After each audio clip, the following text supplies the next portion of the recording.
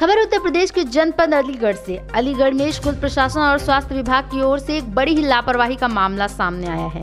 सरकारी स्कूल में पढ़ने वाले करीब 150 बच्चों को जबरन वैक्सीन की डोज लगा दी गई, जिसके बाद करीब 50 से अधिक बच्चों की तबीयत खराब होने की जानकारी सामने आ रही है।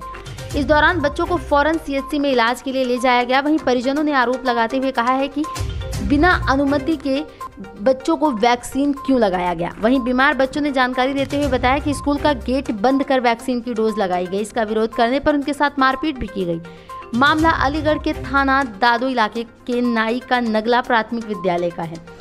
वैक्सीन लगने के बाद बच्चों को उल्टी और दस्त आने लगे, जिसके बाद उनके परिजनों ने उन्हें आनंद फानंद में अस्पताल में पहुँचाया, जहाँ बताया जा रहा है कि स्कूल प्रशासन और डॉक्टरों ने बच्चों के अभिभावकों को डोज लगाने की जानकारी नहीं दी थी।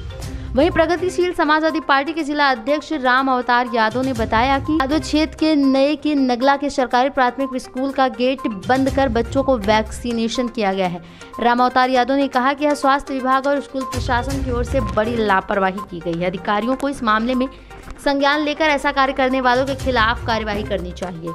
छर्रा सामुदायिक स्वास्थ्य केंद्र के चिकित्सा अधिकारी डॉक्टर अवनेन्द्र यादव ने बताया कि बूस्टर अभियान चलाया जा रहा है, जिसके तहत टीडी और डीपीडी के टीके लगाए जा रहे हैं। उन्होंने बताया कि डीपीडी के टीके के बाद अधिकतर बुखार आ जाता है, इसलिए बच्चों को भी खुराक, इसलिए बच्चों को भी बुखार की शिकायत रहेगी फ़िलहाल सभी बच्चे खतरे से बाहर हैं।